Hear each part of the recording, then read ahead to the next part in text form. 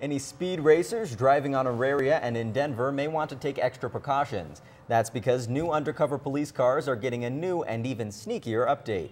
The Auraria Campus Police Department has added a new undercover car to their fleet. The update first began when Ford added the red and blue emergency lights to the front of the SUV located in the visitor's lot. The newest update will include emergency lights in the rear of the vehicle near the spoilers. The goal of the new addition is to improve visibility for officers and make unmarked cars more difficult to spot.